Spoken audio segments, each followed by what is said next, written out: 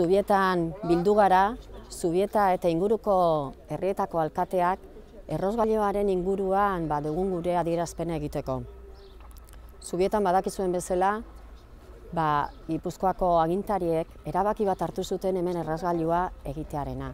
Eta guk, Zubietarrok eta inguruko herritarrok aldarrikatzen dugu errosgailurik ez egitea.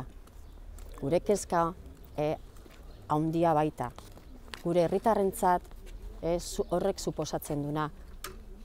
Hor daude ikerketak, eta ikerlariek esaten digutena kontutan hartu beharrekoa da.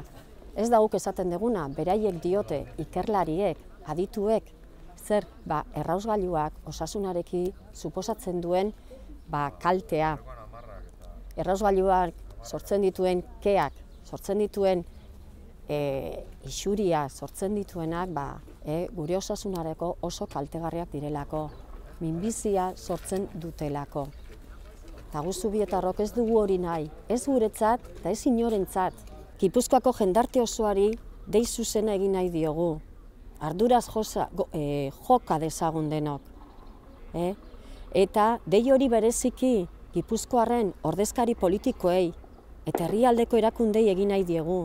Bernezazu herritarron osasunerako eskubidea eta mesedez, lehenbailen, eh, bukatzutat eman ezazue, errauste plante egiteko proiektua.